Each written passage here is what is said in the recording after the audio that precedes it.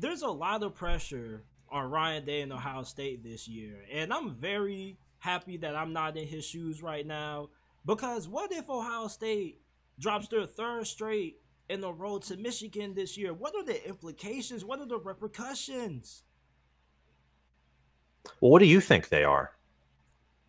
Man, honestly, I don't know because it's like, okay, here's the two routes it could go.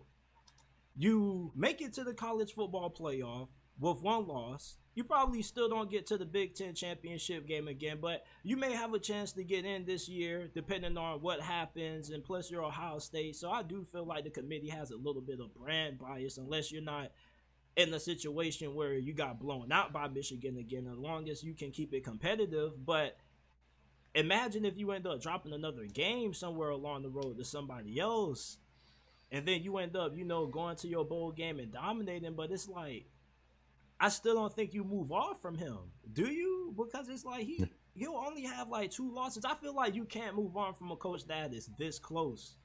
You feel me? I'm actually in perfect agreement with you, which is why I'm glad I asked you first, like what you thought. That's basically what I thought. That's what I wrote down. If he goes 11 and 1 and then only losses to Michigan again, the fan base gets angrier. Nothing changes. Nothing. I mean, they go 11 and 1. I think they're going 11 and 1, losing to Michigan, and they're going to reach the CFP and they're probably going to beat whoever they face in that semifinal because let's face it, they're just going to, they're, this isn't a guarantee, but from how I look at it, they're almost destined to be better than they were last year just because what they have on defense. I have them going 12 and 2 and losing to Michigan once in Ann Arbor and once in the Natty. And if they beat Michigan in Ann Arbor, it'll be the inverse and Ohio State will go 2 0 against Michigan in Ann Arbor and the Natty. That's one of my bold predictions. So if all that happens, nothing. But if he loses that second game, let's say he loses to Wisconsin, or James Franklin like waltzes in there and avenges the 2017 loss, or Lord forbid Notre Dame beats him, which would disgust me beyond belief there he would have pressure entering 2024. You you can't have what happened in 2021 where like Oregon embarrassed you and Michigan does it. You can't. I don't think you can have that. He wouldn't get fired. He might not even be on the hot seat, but there would begin to be an actual like it, would it would be more serious than the reaction this year or reaction after a near undefeated season. But that's scary though because it's like, what coach are you gonna fire that can get you to only your worst season being two losses? Where are you gonna find another head coach that you know can come back in and just have that kind of production? Like, are you gonna call Urban up?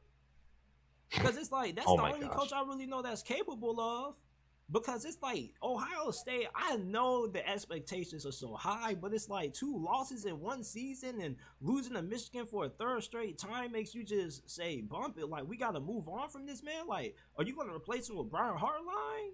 It's like it's, it's, who do you who do you go from a Ryan Day who's taken you to several college football playoff appearances? You go from him to who?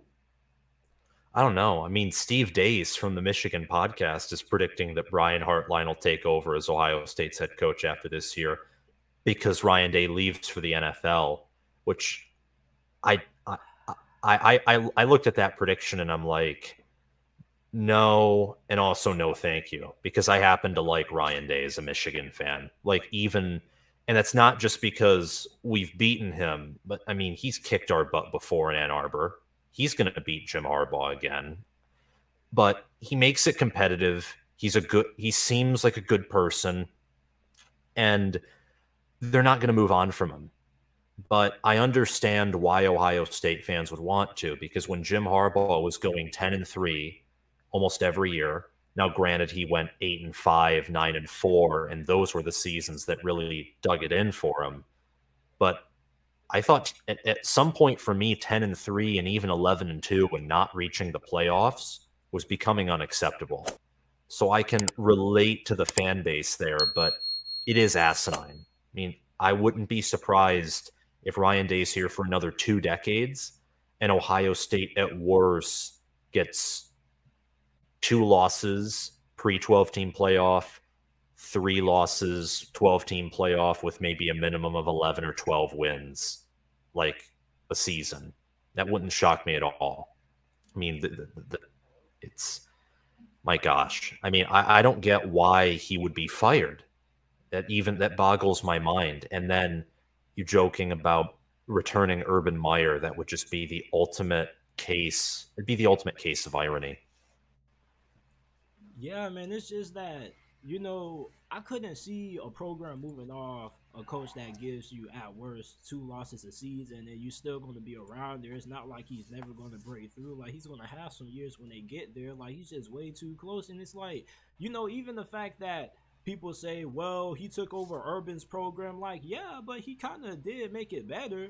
And it's like there have been plenty of coaches who've taken over great programs and run them in the dirt. You feel me? So it's like going from Larry Ryan Coker Day, being one of them. Yeah, so going from Ryan Day to somebody who can be better than what he's been at Ohio State, keeping up, you know, how good Ohio State has been. I mean, that would be pretty difficult to do, but